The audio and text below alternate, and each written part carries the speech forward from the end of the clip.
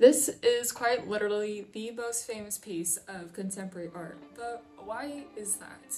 Marcel Duchamp literally went to a plumbing supply store, slapped the name R. Mutt on this bad boy, and called it art. In fact, Dimitri Daskalopoulos, a Greek collector, paid nearly $2 million for the replicas. Not the originals, but the replicas. So why is this urinal an otherwise repulsive thing considered to be art? And what makes good or bad art in the first place? Today I'm going to be diving into the area of philosophy known as aesthetics. Editing Isabelle here. I just wanted to quickly add that all of the material that I got for this video was from The Concept of Aesthetic from the Stanford Encyclopedia of Philosophy by James Shelley. Just giving credit where credit's due. Okay, bye. Aesthetics is a very broad area of study and it aims to designate a kind of judgment, attitude, experience, and value to what we find beautiful. That is what we consider to be art. Furthermore, it aims at a way we can articulate perceptual basis of aesthetic judgments and how we can best understand aesthetic value and aesthetic experience. So, let's get into it. Interest in aesthetics began in the 18th century when the concept of taste emerged along with the concept of rationalism. Rationalism is the idea that judgments of beauty are judgments of reason. That is, beauty can only be described empirically using things such as math and science. For example, the golden ratio and the rule of thirds are derived from mathematical formulas to analyze and create perfect composition. British philosophers began to develop theories of taste within this empiricist framework and thus, like Gollum scrabbling out of his cave, a new theory emerged the immediacy thesis. Now, what the immediacy thesis says is that judgments of beauties are not determined by reason, at least not in the sense where they are straightforward principles and concepts, but instead, judgments of beauty come from other sensory judgments. That is, something is deemed to be beautiful by using the five senses. But this theory did not get far before it ran straight into some problems because there are certainly instances where there are principles and concepts that determine the aesthetic value of an object. For example, poems and plays are complicated works of art, whose structure makes them complicated but also simultaneously makes them good works of art. In this case, the quality of a piece is something that is determined empirically to kind of quantify what sort of value it has. For example, Shakespeare's use of rhythm and dialogue, most famously with his iambic pentameter, is something we are taught back in high school as proof of the quality Shakespearean plays have. So, if quality is something empirical, how does the immediacy thesis hold up? Well, David Hume defends the immediacy thesis by regarding the faculty of taste as something that is like an internal sense. Reid expands on this by saying that this internal sense comes from the way we perceive complex nature or structures of beautiful objects. That is, perceiving the nature of an object is one thing, perceiving its beauty is another. So, yes, the nature of a play is that it has dialogue, and Shakespeare is unique for his use of iambic pentameter, but this is simply a part of the nature of what a play is. The beauty that we perceive from Shakespeare is an experience within itself. So that was a lot in a short amount of time, but trust me, Hilary, the source material was way longer than that, so you're welcome. I definitely condensed it down quite a bit. Aesthetics and ethics are two areas of philosophy that, for the longest time, were sort of lumped together. And this is because both have to deal with nuanced judgments based on how we perceive the world. And because of this, philosophers such as Kant use the same terms and language with ethics as they do with aesthetics. Kant came up with the disinterest thesis, which says that pleasure in what is beautiful is disinterested. What he means by disinterested is that it is not self serving. So, interested is self serving disinterested is not self-serving. Anyway, judging an object to be beautiful is disinterested because that judgment doesn't entail a desire to do anything in particular. The judgment just exists, versus a judgment on an action to be morally good, for example, would be interested. And this is because that judgment issues a desire to bring that action into existence. If you are confused, It's okay. Philosophers are still debating today what Kant meant by some things. Philosophy is really confusing. Just know that judgments of beauty don't serve a purpose to ourselves and don't require any sort of action and therefore are disinterested. They simply exist, and this is what separates aesthetic judgments from ethical judgments. Just remember the disinterest theory is the idea that aesthetic judgments are not self interested. So now that we have our starting frameworks for theories of taste, we can start going into the concept of aesthetics. We have a new term to learn artistic formalism, which is the view that artistically relevant properties of an item, object, artwork, whatever, are the properties that determine if that artwork is good or bad in virtue. For art, the visual form of the subject is going to be the most relevant property, and therefore will be the basis for us judging the aesthetic value of that piece. For poetry, it would be the way that rhythm, alliteration, imagery, syntax, and uh, all those such things are applied. Artistic formalism follows from both the immediacy and the disinterest thesis. The immediacy thesis is implied because the properties whose grasping involve reason are irrelevant to the aesthetic value of the artwork. Remember, the immediacy thesis is the idea that the value of an artwork is determined by what we can sense, not what we can reason.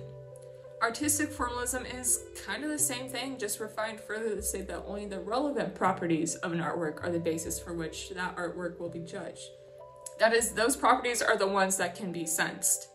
Artistic formalism also follows the disinterest theory because it implies the irrelevance of all things capable of practical use.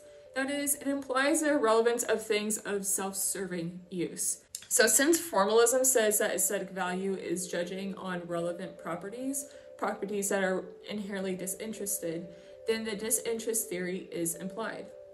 But artistic formalism didn't just come from these series, they also came from art critics at large from many different fields. According to the Stanford Encyclopedia of Philosophy, as a critic, Edward Hanslick advocated for the pure music of Mozart, Beethoven, Schumann, and later Brahms, and against the dramatically impure music of Wagner.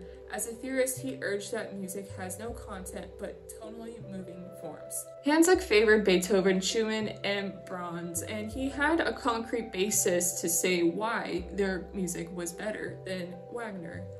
Artistic formalism provides a way to analyze art in a sort of critical data sort of way rather than by nuanced preferences. Formalism has always been supported by art critical data. However, a man by the name of Arthur Danto kind of just shot down this idea. Listen, I know I'm like dropping names left and right here, but these names are important to know if we're going to be talking about aesthetics. You know, I'm just kind of the opinion that like we should uh, we should know more about aesthetics if we want to be good artists. So yeah, these are these are important to learn. Anyway, this Danto guy made the case that the data doesn't support artistic formalism and perhaps never had. Anyway, this Danto guy made the case that the data no longer supported artistic formalism, but how is this so? It was very much inspired by Andy Warhol's Brillo boxes. I mean, yes, these were Brillo boxes that were painted, but they were indistinguishable from the real life cartons. Danto observed that for most any artwork, it is possible to imagine A. Another object that is indiscernible from an artwork but is not an artwork, and B. Another artwork that is discernible from an artwork but differs in artistic value. The reason why this is a problem for formalism, specifically for art, is because form alone neither makes an artwork nor gives it the whatever value it has because according to artistic formalism, art is evaluated by its form. Why is an Andy Warhol painting of Brillo boxes more valuable than the actual Brillo boxes? What makes an original Monet more valuable than a perfect replica? Because if it is true that these things are more valuable than the things they represent, then it can't be form that gives them their value. Formalism cannot explain why one is in a work of fine art and the other is not. And if formalism is true, then Duchamp's urinal is a work of fine art. But that doesn't quite seem right, does it? Duchamp didn't put any work into creating the urinal. In fact, the true artist would be the factory workers that made it or the machines that assembled it. We need more than just form to evaluate the aesthetic value of an object. We need context. And perhaps the direction we have gone with formalism is um, kind of like my coffee this morning, a little bit too strong. It's also important to note that Kant, the daddy of the disinterest theory, regarded poetry as the highest form of fine art because of its capacity to embody representational content in what he calls aesthetic ideas. Hume, who had his own version of the immediacy thesis, said, In many order of beauty, particularly those in the fine arts, it is requisite to employ much reasoning in order to feel the proper sentiment. So, even though these two philosophers were proponents of the theories that brought about formalism, they believe to a degree that aesthetic value does have this sort of empirical element to it. Danto maintains that 18th century theorists would not know how to regard Warhol's Brillo boxes as an artwork, and this is because they would have the taste of someone who lives in the 18th century. Hume thought artists should address their works in their art history context, and one must place themselves in the same situation as the audience. According to the Stanford Encyclopedia of Philosophy, he is allowing that artworks are cultural products, and that the properties that works have as cultural products they are among the ingredients of the composition that a critic must grasp if she is to feel the proper sentiment. In order to properly grasp the meaning of an artwork, we must take into account the cultural context they were created in. Francis Hutcheson and Alexander Gerard both maintain that empirical objects such as math, science, and philosophical theories are objects of taste. Both regard it as a natural assumption that objects of intellect, that is, math, science, and be it, are objects of taste just as much as objects of hearing and sight may be. They believe that grasping the nature of an object takes intellectual work.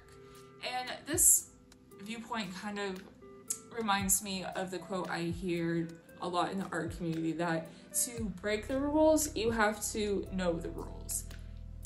I mean, composition has mathematical roots to explain why shapes being arranged in a certain way is more pleasing to the human eye you look at color theory, like their color harmonies are dependent on the hue and saturation of a color. And perspective can be something so mathematical that you could spend all day drawing grid lines just to get your piece of art to be as accurate and as representational as possible. These are things we have to know intellectually about art to make good art. But Hutcheson and Gerard also include the history of an artwork and how we can judge aesthetics. If you can recall, Hume and Reid maintained that grasping the nature of an object before aesthetically judging it is one thing. Aesthetically judging an object once it's grasped is another. Okay, so what does this mean in English? Kendall Walton brings forth an anti formalist theory that says Aesthetic properties we perceive are dependent on that category we perceive an artwork belonging to. Guernica is a great case of this. At first glance, Guernica is perceived as violent, dynamic, and disturbing. Picasso has a way of telling the story of Guernica so clearly without having to say anything at all, and it is one of his most influential pieces. Guernica on its own stands out as an outstanding piece of art.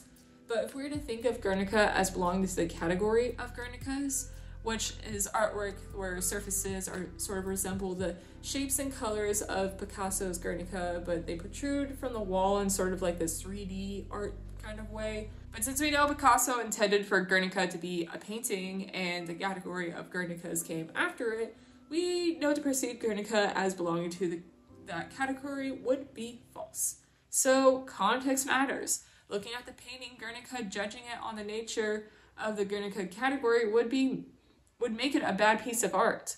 But grasping the nature of Guernica and then aesthetically judging it changes its value entirely.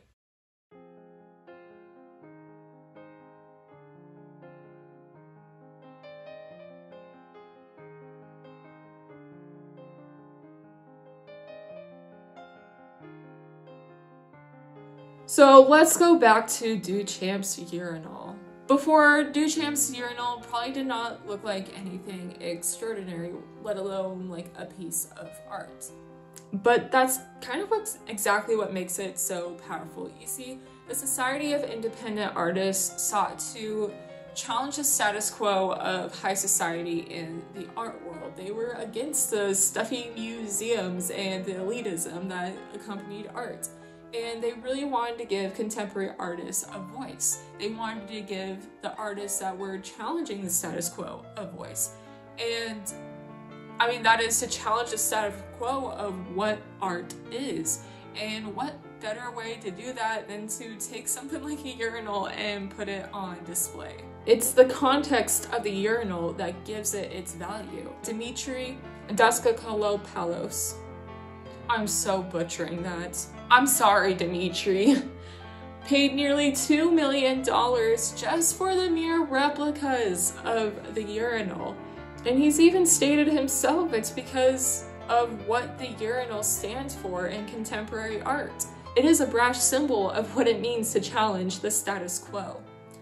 And that, my friends, is the end of the video. Thank you so much for watching. If you made it this far, I worked so hard to make sure to get this video out in time. So if you're still here, I really do appreciate you. And, well, that's it. So I'm filming this early in the morning. I gotta get ready for work, eat some brekkie. Well, bye!